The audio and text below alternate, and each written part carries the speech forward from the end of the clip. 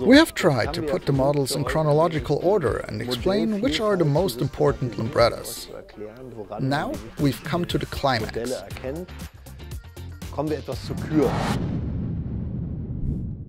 Now we've come to the climax and talk about rare prototypes and very rare models of common scooters that would still be worth mentioning. Are there any stories or special anecdotes? Yes, there are very many, but of course not for the average consumer. There have been many speed records set by the Cardan models, for example.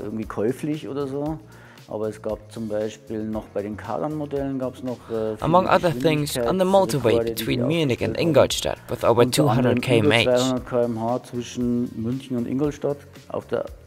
Oh, was that a Cardan model? Right. There was a Cardan model. What year was that? That was the Siluro. That was a real Sega. And which year that was, I seriously don't know. But Cardan models means 50s, probably? Right. That was also the time when Vespa was active in äh, races with its scooters. And at that time, I think there was always this competition, this battle between Lambretta and Vespa, wasn't it? Right. With the license NSU in Neckarsulm, they had the opportunity to rev up on the freeway.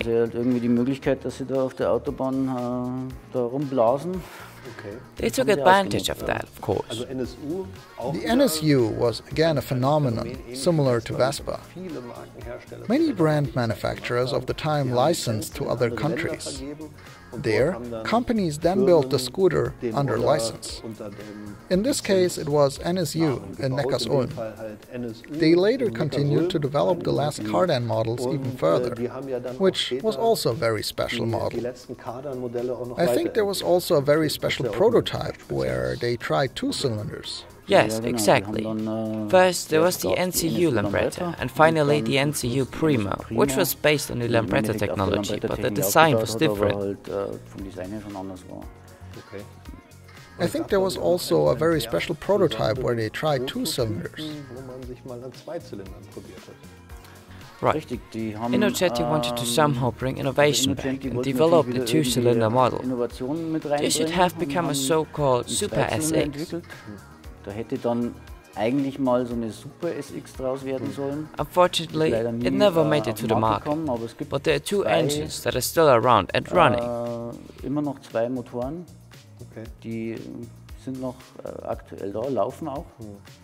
Ähm, wurden erst wieder kürzlich neu aufgebaut. These were recently rebuilt, and back then it was very, very cool. Never made it into production though, unfortunately. I think the fact that these models never made it into production is something that brings tears to every Lambretta fan's eyes. Today, there is a third party manufacturer that offers a two cylinder engine that they developed themselves. But the original two cylinder never made it into production, unfortunately. What else was special? We have already mentioned the TV175 first series. Very rare, very special. Please buy those only if you are really bored, because they're a lot of work. Then I think there was a little curiosity. We always talked about first to third series. To which one does a Li4 belong? Yes, that one one's kind of special. It is at least very rare. It's an Li model that differs in minimal details and also has Li4 as prefix instead of Li3 as a nicht chassis number. Li3 als Präfix That's actually the only Das ist eigentlich difference. Der hauptsächliche Unterschied. And I think it has a few more plastic parts. Die hat, äh, die hat zum Beispiel It has side covers without those locking Verschlusshebel, levers. sondern ähn- ähnlich So it's kind of like the DL einem with a spring construction that holds the side Konstruktion. panels. Und die Seitenhauben halten dann hier in, in der Kaskade ein anderes Then a more modern inner Innocenti look on the Cascade with the last SX models also was So basically, all the stuff they later shipped to Spain, didn't they? But let's get to that later. What else was there? There was a golden special, a silver special, and a blue special. Especially interesting for collectors could be the golden special. But in principle, this is just a special in gold, Genau, isn't it? richtig. Das hat einfach nur eine Sonderfarbe gehabt. Exactly right. The model simply had a special color. Cool ist. Und passend dazu eine, eine grüne The color is pretty cool, however, and there äh, was a green seat to match. Auch designmäßig Sign was eine definitely an icon. sagen. Taugt schon. Well, I know a couple and they are really sexy. I can only recommend you, if you run across one, buy it. This brings us to the next question. With all the models we've listed, what are really the most popular models now? We've mentioned the DL200, for example.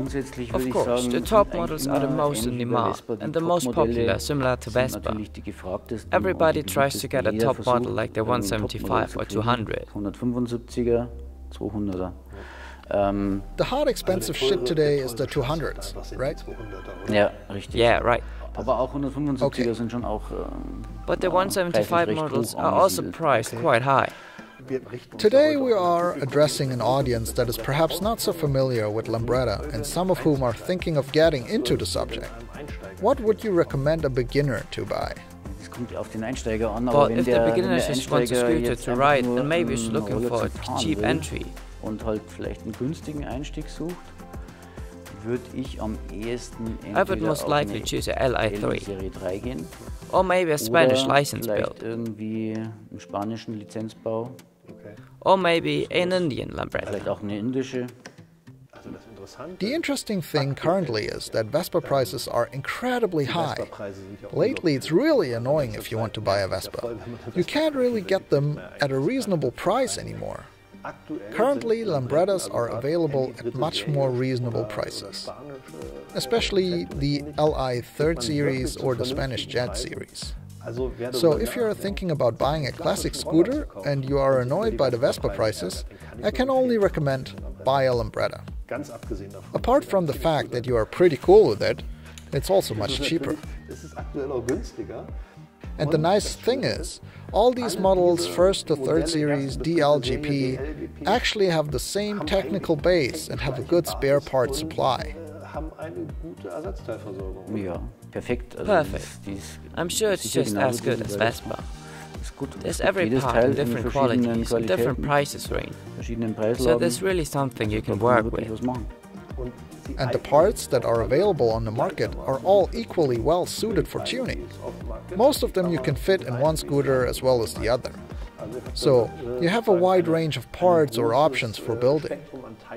In the past, people used to say, the problem is that the parts are always too expensive. And that both spare and tuning parts at Lambretta would be expensive. Is that still the case today? I wouldn't agree. Compared to the Vespa, prices have converged. There are quite some manufacturers that take care of Lambretta, spare parts and tuning parts nowadays.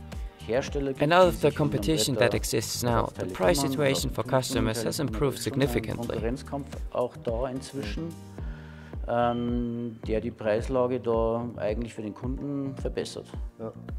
This is a statement that I can confirm. At SIP, I also take care of the Lambretta parts in the range. Lambretta parts are expensive, is an old cliche.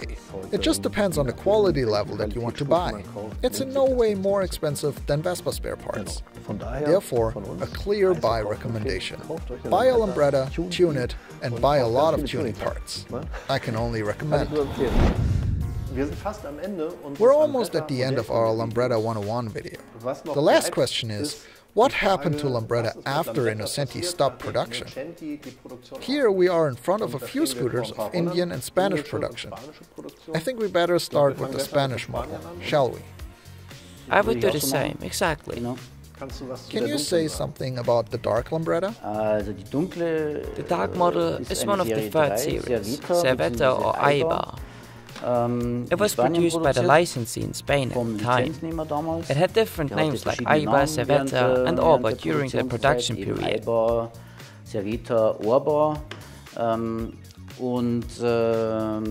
hatten But they had been producing Lambrettas for a very long period of time. Das war einfach dann ein Modell aus, der, aus den 60er Jahren. This was simply a model from the 60s as a licensee of Innocenti, but they have continued to build Lambrettas beyond the Innocenti era. There's a winter model of the series too, which is relatively well known, but I don't want to go into that so much right now. The interesting thing about this scooter is that it's actually an SX200, the top of the Lambretta line by Innocenti, which was basically just replicated, right? Topmodell eine Zeit lang von, Lambretta Innocenti wurde hier Yes, except for a few details. For example, the front fender and the nose originated from the LI, but the rest as well as the side panels are copied. The model normally also has disc brakes, so all the detail that the SX had, the Spanish XX or the Jet had too. So actually an SX200, which you can see by the octagonal headlight and those beautiful arrows on the side panel. But unfortunately, they only kept this at the very beginning, just like the disc brake of the SX200, which was also only installed at the very beginning. Do you know why they stopped doing that? I also think it was simply a production cost thing. They wanted to offer the models relatively cheap. There were special parts that were simply more expensive. Ähm, und so konnten sie einfach die, die ähm, I think so they could just take the brakes and the side covers from the LI series and save money that way. Und Geld sparen, denke ich mal. Und ich habe auch so ein bisschen den Eindruck, I also have a bit of an impression that they just used the parts that Innocenti gave away. When the SX was discontinued and the GP came out, they continued to build the jet in Spain. Later came the change to the LI side panels. Those were actually the LI4 side panels without the outer locks, weren't they? Exactly right. There was also such a side stripe applied to the side panels. The whole thing looked more like a GP than an SX. Exactly. A few components were taken over from the GP because the LI and the Jet were built in Spain, even after Innocenti ceased production. So maybe it was a simple attempt to tie in with the design of the 70s. Exactly. To get a relatively modern design without a lot of effort, they changed a few things there. The production was taken over by the company Cervera, and curiously enough, they built the Lambretta model for a very long time, until 1989, didn't they?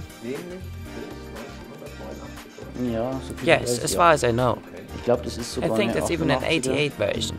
Und äh, die wurden auch äh, in ja, relativ. They were also imported to Germany in relatively large quantities. Da gab es den Krüger.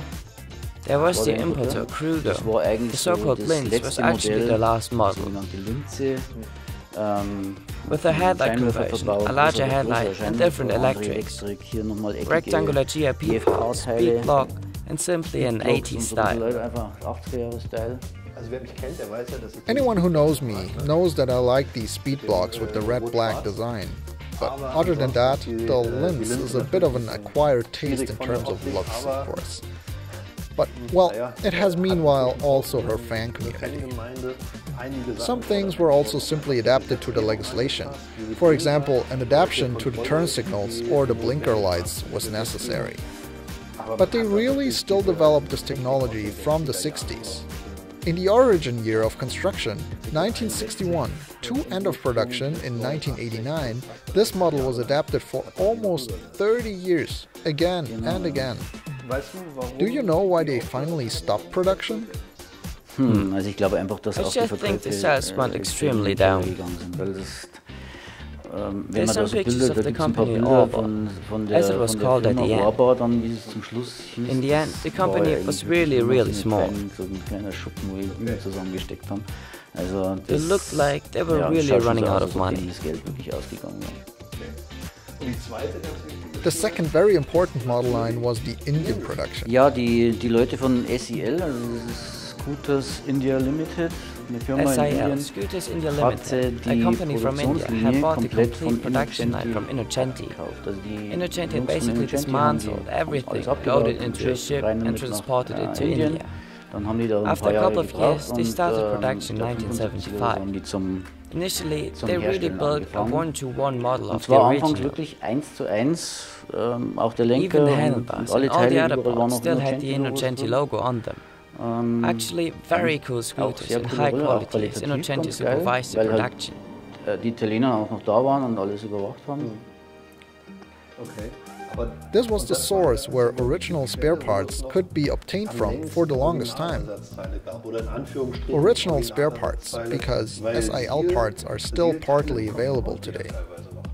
Yes, ja, I think the company still exists, but they only produce sogar noch. Die tricycles. machen halt jetzt nur noch so rickshaws so, that are partly based on. Lambretta, so-called ähm, Lambros. teilweise basierend auf so, auf so Lambrettas. Also Lam- was a Lambros. tricycle, just like the Ape. Das war das Dreirad. There was a tricycle, just like the sind Ape. Ähm, They have been und äh, producing äh, scooters haben for a long time. lange gebaut. However, it was not clear how long these were officially manufactured. offiziell, aber es But the factory still produced parts until a few years ago. But not Ähm, complete scooters anymore, halt dann nicht mehr only spare parts. sondern nur noch Ersatzteile. Also ich hab The other day, I talked to an Indian wholesaler who said that the company still produces ab und zu parts from time to time. But they have to keep bringing back former workers to the plant who still know how the tools work. Accordingly, the production parts often do not look good. For several years now, you can still get parts that are good quality, for example, the side panels. Other parts are produced in poor quality and are often still rusty and sharp interessantes edged. Modell, weil es einfach die Geschichte abrundet. was This is an interesting model as it completes the story and shows what eventually became of the tools and of the Lambretta brand. Now we are at the end of the Lambretta model history. Can you think of anything else to tell or warn buyers about? Was man noch erzählen muss darüber, wo- wovon man warnen muss den, den Käufer. Actually, I can only warn that Ja, it is very easy to ähm, fall in love with warnen Lambretta eigentlich nur, dass models. man dem And if you have a crush on them, Lambretta you will always want to buy another. muss man halt immer wieder eine kaufen. Nee, nee, kann ich nur I can only agree with this and recommend buy a kann ich aber Lambretta. trotzdem nur empfehlen. Kauft We've already said it. Currently, Lambretta models are relatively cheap. Ähm, bleibt mir nur, mich zu bedanken, Jockey. Jockey, I would like to thank you for showing your model collection and thank you for your expertise at making this video possible. geholfen hast, dieses Video zu machen. Gerne. You're welcome. Und damit verabschiede ich mich von euch. Goodbye. See you next time. Ciao. Ciao.